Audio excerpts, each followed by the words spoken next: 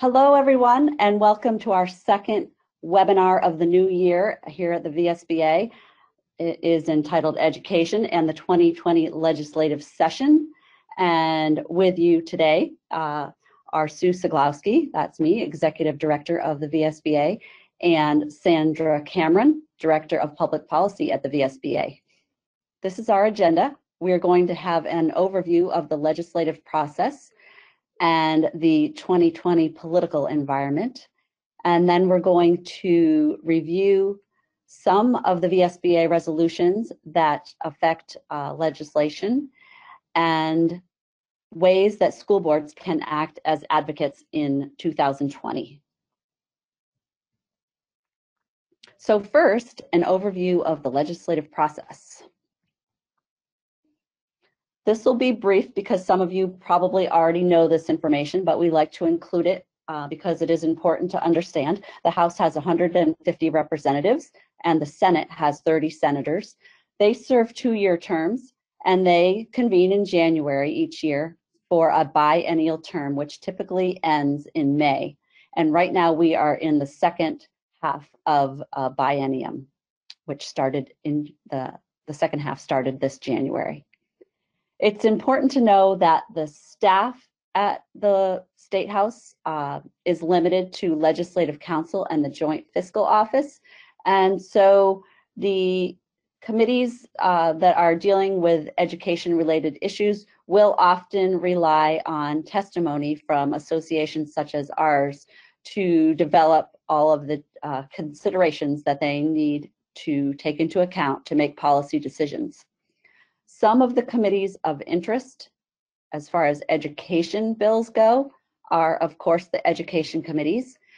Also the agriculture committee often will be looking at things like um, school meals or farm to school, uh, the appropriations and finance committees and ways and means, institutions, government operations. Government, government operations looks at things like the open meeting law, the public records law, um, and health and welfare. At the beginning of uh, this process in January, the governor shares his priorities in the state of the state and um, the budget address. And legislators, meanwhile, are submitting bills for consideration by the committees of jurisdiction.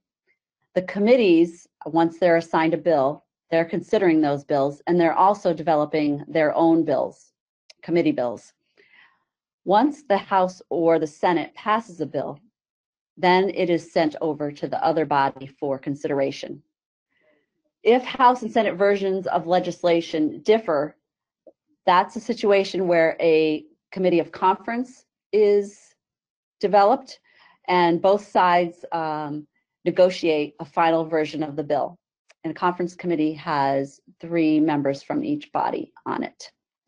Once the same version of a bill is approved by both bodies, then it will go to the governor. And if the governor signs the bill, it becomes law.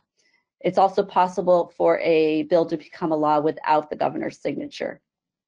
The third possibility is that the governor may veto the bill and it takes the General Assembly, um, they can override the veto with a two-third majority, which is 100 votes in the House and 20 in the Senate.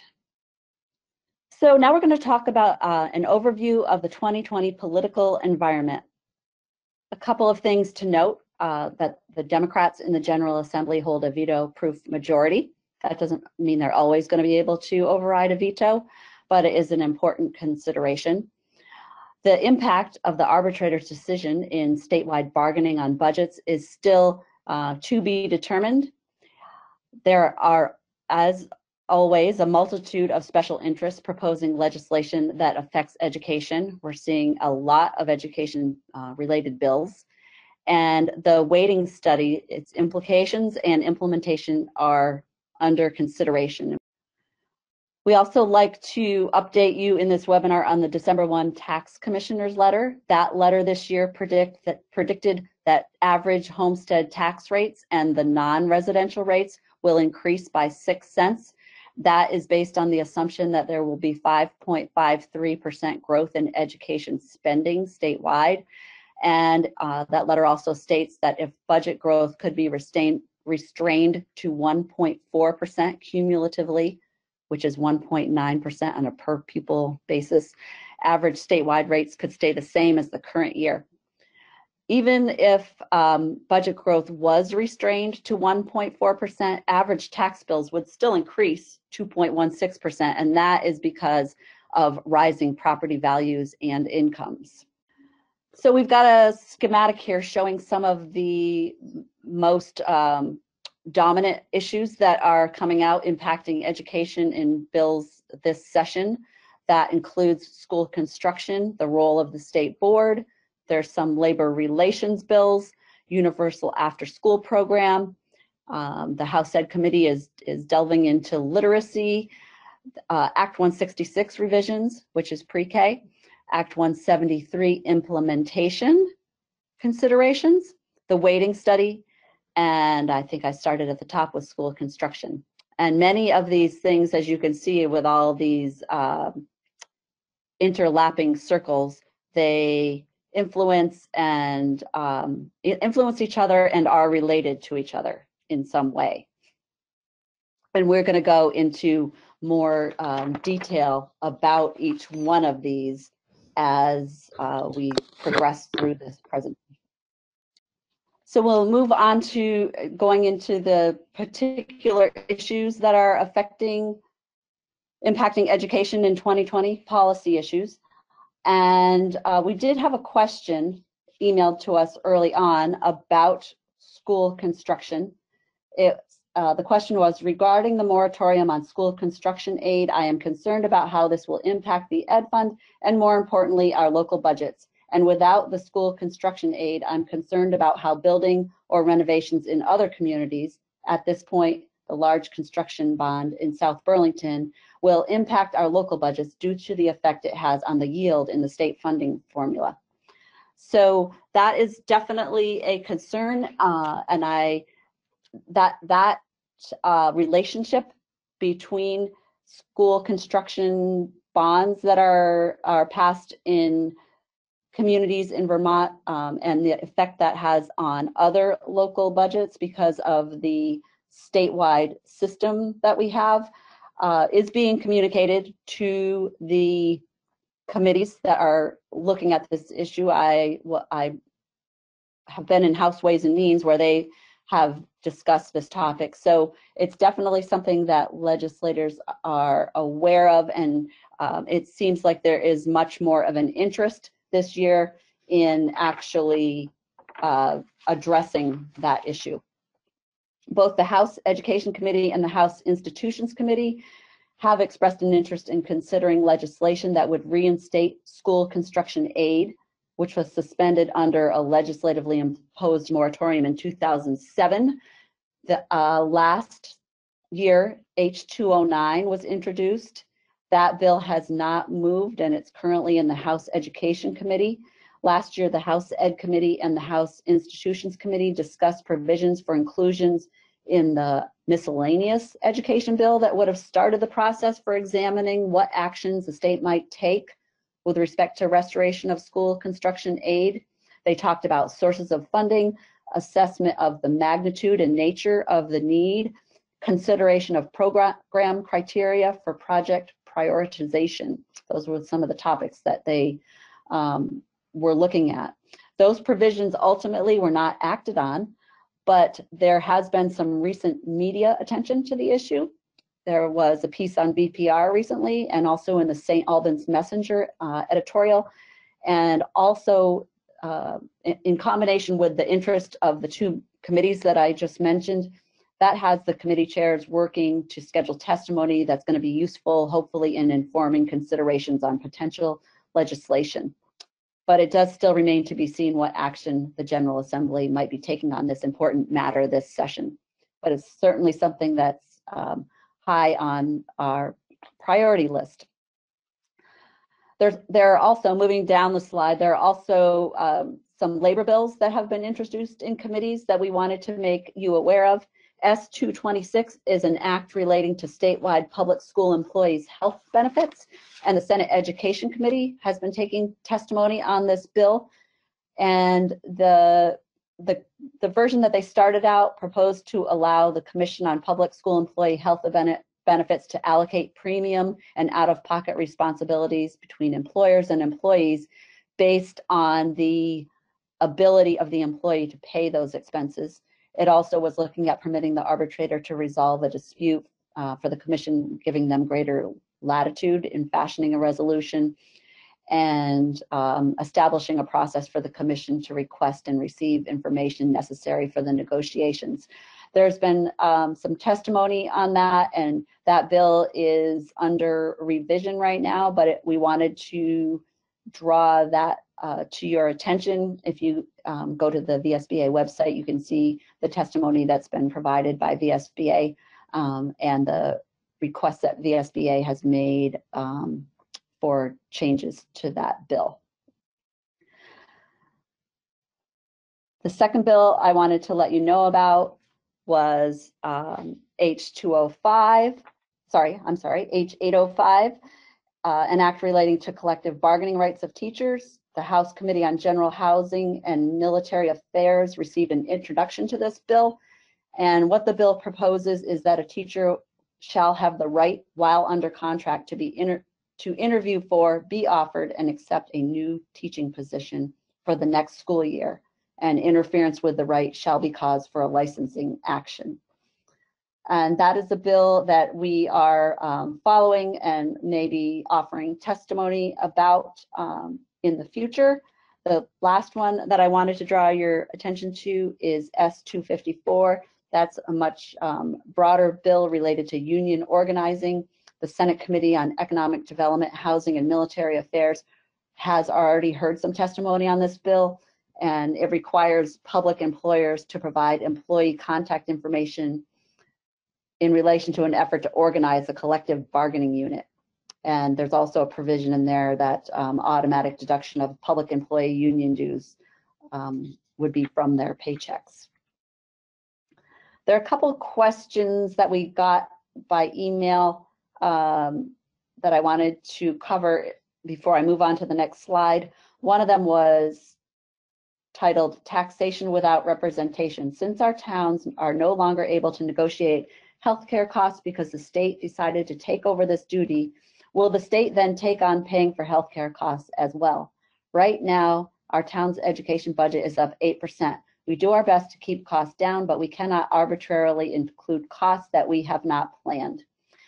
Um, the way to look at this question, I think, is um, that school employees are not state employees. So we, we do have sort of a, a hybrid situation as far as the negotiations go, but the negotiators were school board members and they uh, are called the, the employer commissioners. You may have um, received some communications on behalf of the employer commissioners through the VSBA. Um, and so the, the decision of the arbitrator is required to be um, incorporated into school budgets. This year was the first year that the this process happened and the timeline was definitely problematic for schools um, and school boards because of the issuance of the arbitrator's decision in December did not allow a lot of time for incorporating that into the budgets. Um, and so what we, one of the things that we are proposing is to change the timeline so that it's not so tight. Um, and that, that if you are able to look at the VSBA testimony on, on um, S226, uh, you can see that we're proposing a change in the timeline that should help with this, this issue. Um, the next question was, wouldn't it be more beneficial to have all state workers, including teachers in Vermont, Healthcare Connect? The state would then have a broader base of healthy and cost could be at a minimum. Um, so at this point, state teachers are not state workers, um, and I'm not sure what the implications are for including them in Vermont Health Connect. It's, I, I believe that the whole system is being looked at um, and evaluated because it's only been um, it's only happened once and everyone's taking a look and trying to make adjustments that will make it a better system. Moving on to the next slide. Uh, we have the 2020 policy issues impacting education role of the state board, and this is one that Sandra will be covering. Hello, everyone. The role of the State Board Education is currently being discussed in Senate Education. There's a draft committee bill 20-0777 proposing to transfer various duties and responsibilities from the State Board of Education to the Secretary of Education, and the list below details um, what's under consideration at this point in time. This uh, change would permit the state board to focus more on long-term strategy and high priority educational issues. So it's it's a shift in role, but also a slight shift in focus. Um, the committee has heard testimony from Secretary of Education Dan French and the chair of the State Board of Education, John Carroll. Um, they've been both heavily involved in this process and we will keep monitoring. Other issues that are impacting education have to do with Act 173 implementation. There's a connection to the weighting study and ensuring professional development.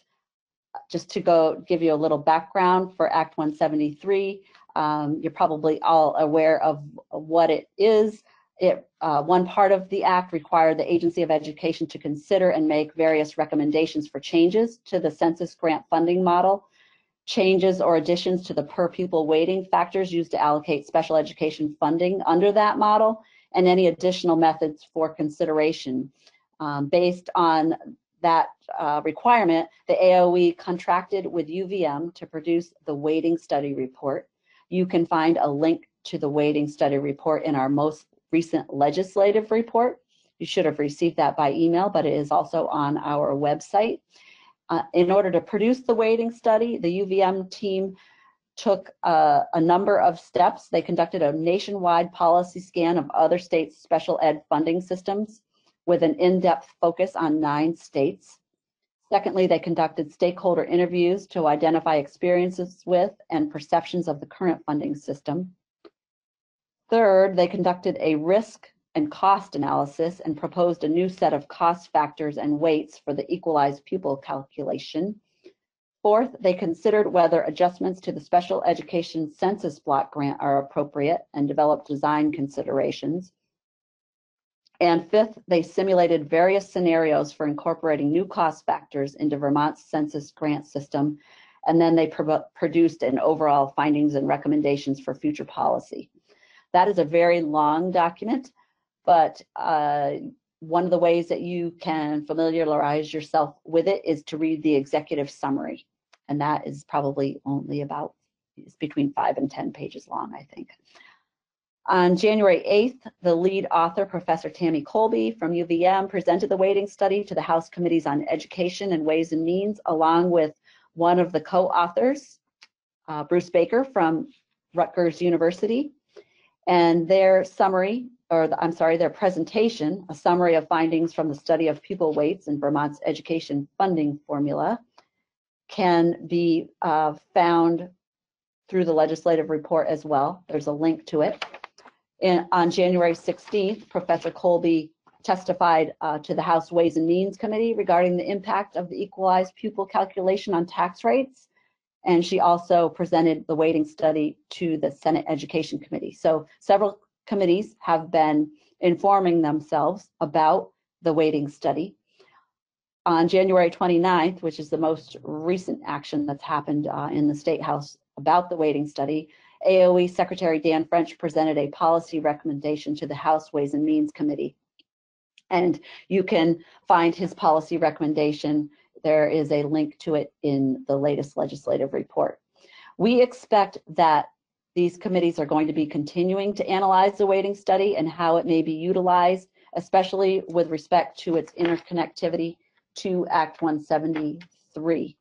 And we'll be keeping you informed about what is happening with the weighting study. There was a question about the weighting study and whether there's been any action at the house, State House on it. So we've told you a little bit about what's happening in committee. The the other action that's happening is that um, Representative Laura Sibilia has introduced four bills regarding the weighting study, and um, those can be found on the legislature's website. Act 166 is the universal pre-kindergarten law currently um, already enacted. The House Committee on Education has been discussing possible revisions and they are currently on draft number three. Um, this, these would make changes to current law that would propose, among other things, eliminating the joint administration by both the Agency of Education and the Agency of Human Services, requiring that school districts pay tuition for pre-K education, um, and when they do so, they must use uniform forms, standard forms and processes, which would be developed by the AOE, and to simplify and clarify the quality criteria for pre-kindergarten providers, specifically the requirement that all students have equitable access to instruction by a licensed teacher. Um, there's been quite a bit of conversation in the House Education Committee with lots of testimony from various different perspectives. So uh, we're currently looking at version 3.1 and we'll continue to be involved in this process. Um, with regard to literacy, uh, the House, again, House Education Committee has been hearing a lot about literacy uh, from various members from the field and in the community. They're focused on literacy. They understand the connection between improving literacy and supporting struggling students as is called for in Act 173. And they see a need to have a coordinated approach. The committee has um, reviewed recommendations of the DMG report. They've heard testimony from advocates, practitioners, the public. They've um, learned about Secretary of Education Dan French's approach to potential policy recommendations through his testimony. Um, there were four literacy bills uh, proposed um, addressing early literacy screening and early instruction in different ways. However, currently the committee is reviewing a bill that would more closely connect to the DMG report and provide grants. Moving to the second point on this slide, um, Universal After School Program. The Senate Education Committee voted out a committee bill which establishes an after school task force of 15 members. This was one of the governor's um, priorities in his State of the State address, S335. These members include designees on behalf of Vermont Principals Association, Vermont Superintendents Association, Vermont School Boards Association, and Vermont Council for Special Education Administrators, as well as the Secretary of Education, Secretary of Human Services, the Vermont Council of Independent Schools, Vermont Home Study Programs, and the Vermont Boys and Girls Club, and three other representatives from after-school programs, as well as one senator and one representative. Right now, the bill is simply calling for a task force that would consider and make recommendations on a framework for the cost of and um, the long-term funding sources in order to assure universal access. The current draft um, requires this task force to prefer solutions that do not draw upon the state's education fund and asks that they explore the possibility of using potential revenue from the taxation and regulation of cannabis. The work um, of this task force is to begin on or before June 30th of 2020, and the task force is asked to submit a written report to the governor and the House and Senate Committees on Education on or before December 15th, 2020. The bill um, was voted out of the Senate Education Committee and was referred on to appropriations because of potential costs. So we'll move into VSBA resolutions applicable in 2020. And before we get into the specific resolutions, I'll just um, quickly let you know our resolution process. Any board that is um, in a member SU or SD can submit a proposed resolution to the VSBA. We have, uh, you, you should be in the spring receiving emails from um, the SBA regarding resolutions, inviting your board to submit resolutions. And once those um, submit, resolutions are submitted to the VSBA, there's, there's usually a deadline. I believe it was in July last year, but sometimes we um, change the deadline to, to allow for the, uh, the process to work more smoothly. So keep an eye on when that deadline is. And when the deadline is passed. There is a resolutions committee. It includes one VSBA board member from each of our 11 regions and the vice president of the VSBA, and they review the resolutions and they make they make recommendations to the um, VSBA board as to whether the the recommendation is to pass, do not pass, or not to take a position on the resolution. Um, but all resolutions that are submitted, whether whatever that position is, all the resolutions submitted do go to the full membership for vote in um, October or November when we have our annual meeting, the VSBA annual meeting. So the resolutions are are very important because they set the guidelines for the organization's um, legislative platform and response to proposed bills. And I'll go now into some spe specific resolutions that may affect, um, that often do affect um, education related bills. And I would just say here that these are not all of the resolutions that could possibly affect education related bills. And if you would like to see the full list of the SBA resolutions, they are available on our website. So these two resolutions have to do with the role of the school board and the essential work of school boards. In every legislative session, there are bills that propose to add to the duties of school boards, and we through these resolutions, we work to ensure that proposals are within the proper role of school boards and that they are not unfunded mandates. We have another resolution further on about unfunded mandates. We also have resolutions regarding cost containment. Uh, the first one says VSBA advises the Vermont General Assembly to allow reasonable time for school districts to plan for cost containment legislation and refrain from passing legislation that affects budgets already adopted by school boards or approved by voters. This resolution has to do with the composition of supervisory union boards and asks the General Assembly to examine the laws governing supervisory union board structure and the process for waiving the statutory requirements for SU board structure or composition, taking into account issues of fairness, equity, and funding. This resolution has to do with equity, quality, and cost effectiveness. And we follow a lot, many bills in many committees that um, have potential impacts on students and schools. And this resolution is uh, a way that we take a look at those bills and look at whether they are impacting equity, quality, and cost effectiveness um, states that the VSBA supports initiatives that are designed to create greater equity and high quality learning opportunities and to achieve cost effectiveness. This is the resolution that I was referring to that um, relates, uh, can be related to the weighting study. Um, it calls for fiscal equity for all school districts to allow equal educational opportunities for all students. And this is an issue that the weighting study um, addresses. The second resolution on this slide calls for the examination of alternative funding sources that are equitable and sustainable rather than continuing a system that relies predominantly on property tax for revenue. So the second resolution um, is a resolution that relates to ed funding and finance. We have a resolution regarding the use of the education fund. It opposes any diversion of funds raised through the statewide property tax to programs that are not within the jurisdiction of public school districts or supervisory unions. And the unfunded mandates resolution I referred to earlier, that's one that states that all new mandated education requirements or programs should be fully funded.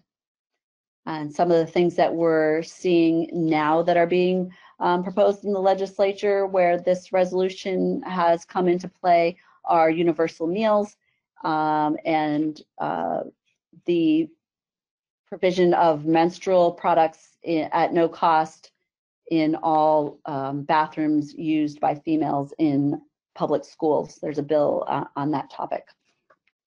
We also have resolutions that uh, call for making local school boards, um, emphasizing local decision making says that local school boards have been given responsibilities to see, oversee public education and to make important decisions necessary to provide high quality education in an efficient and effective manner and that there shouldn't be state interference in their decision making abilities.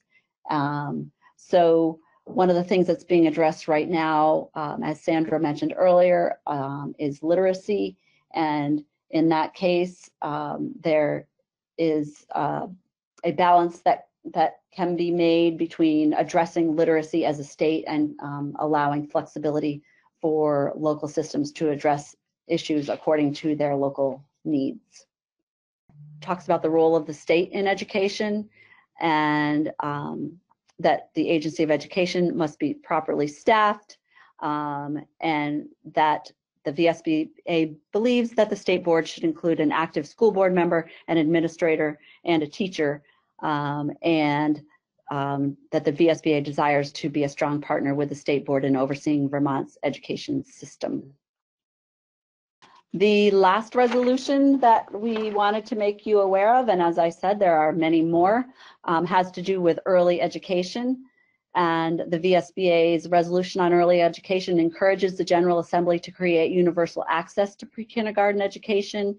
Um, that that bill, you know, that has been in place, um, but we're still working on a system that emphasizes equity, quality, and simplicity. School districts should play a central role in assuring quality and accountability in publicly funded early education programs.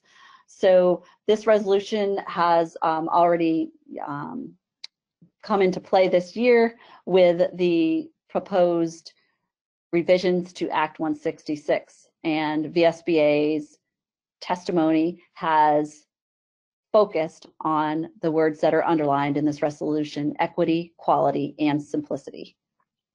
So we do rely on our resolutions and that's why we encourage boards to submit them because those are the um, the official positions of the organization. There are times during the legislative session when there is not a resolution that addresses an issue.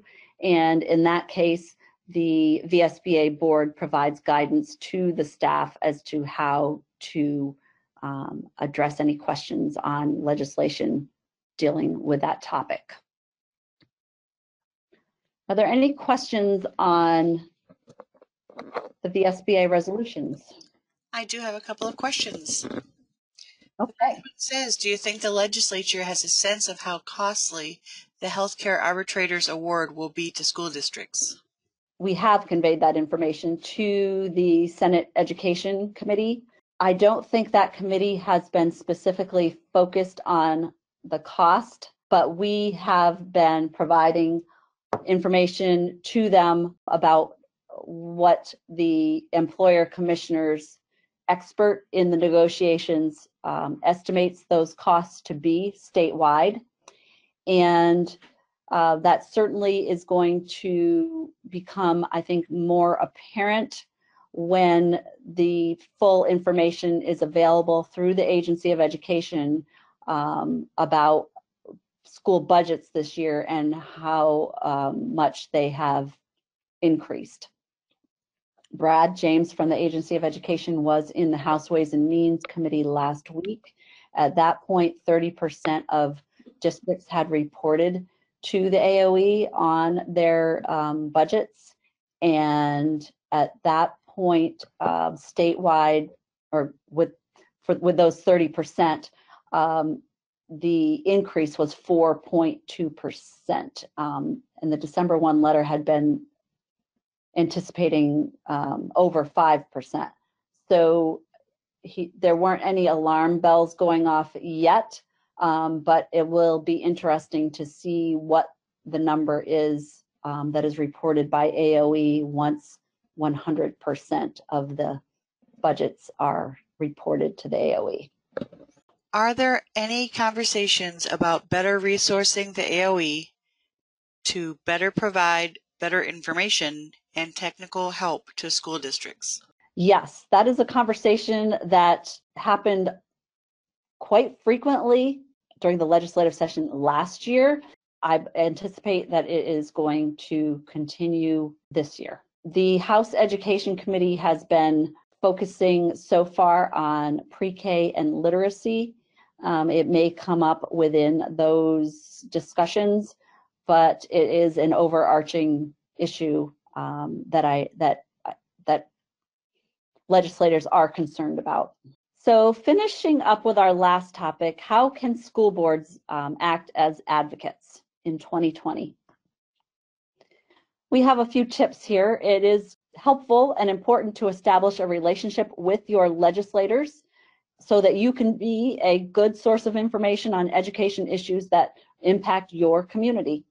And the best way for you to um, quickly get information on how to contact your legislators is through the VSBA's, um, the Education Collaborative's legislative report, which is on the VSBA's website. And there is a link right at the beginning of the report.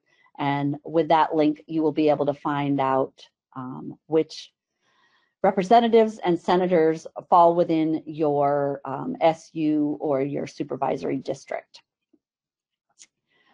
Your messages to your legislators should emphasize the effect on students, not on you as a board, and present your view to the legislators in in language that they will understand. We, it, it's always best, um, and I think school board members are good at this, um, to be very, to be direct and to use simple language and avoid using um, a lot of jargon, um, which I think school board members are, are quite good at. Um, using using language that people can understand. Because of the many last minute changes which a bill can undergo, it's important to support positions and principles rather than specific legislation um, because you could be looking at one version of a bill, you know, three days before you um, testify, and by the time you've gotten in there to testify, they're on like an, um, two or three versions later, and it may not be um, what you say may not be as applicable anymore. So it is important to talk about positions and principles rather than specific legislation. We have some resources to support your advocacy. I've referred several times to the legislative reports from the Vermont Education Legislative Collaborative. That collaborative is made up of different education associations who have pulled together in order to be able to um, provide these written reports to you. The VSBA does send out updates and action alerts when there's something that um, really deserves your attention right away. Um, we have commentary and testimony on our website, and um, you, are always um, able to take a look at that and see what the VSBA has provided in terms of testimony. And then lastly, we are very happy to make connections for you with legislators or committees that um, on issues that you are concerned about. So if there is something that you uh, read about in the report or in an update or action alert, and you would like some information about who it would be helpful for you to contact, you should feel free to call our office and speak with me or speak with Sandra, and we are happy to give you that information. I will also mention that at the top of our public policy page, um, you'll find in three different formats the, the contacts for your local legislators, and they're divided up by supervisory union to make it easier to see who your legislator is. Is the Education Legislative Collaborative information come from the VSBA through email, or is it, or is this another organization? The Education Legislative Collaborative is a group made up of the VSBA, the Vermont Superintendents Association, the Vermont Principals Association, the Vermont Council of Special um, Education Administrators, um, VSBIT, Vermont School Boards Insurance Trust, um, VASBO, the Vermont Association of School Board Officials, that's the business um, managers, and VICLA, which is the Vermont um, Curriculum Leaders Association. So it is all of those associations joining together to be able to have a legislative analyst um, in the state house during the session and to be able to produce the legislative report that goes out um, about every other week. The legislative report does go out to school board members um, who are in an SU or SD that is a member of the Vermont School Boards Association. And um, if you are, if you fall in that category, which you do if you're on this webinar, and you're not getting those reports by email, please call our office. The next slide, I believe, is going to have some contact information for you with the phone number. And uh, let Carrie know that you're not getting your emails from the VSBA, and she will be able to remedy that for you so that you will receive the legislative reports. They are also posted on our on our website, but they may not be posted um, right away. So the best way for you to get the information quickly is to have it emailed to you. Okay, well, I'd like to thank you all for joining us for this legislative webinar and encourage you to join us for future webinars. Um, we hope this is a um, convenient time for you and um, that you've learned some useful information that will um, enhance your role as a school board member. Thank you, everyone.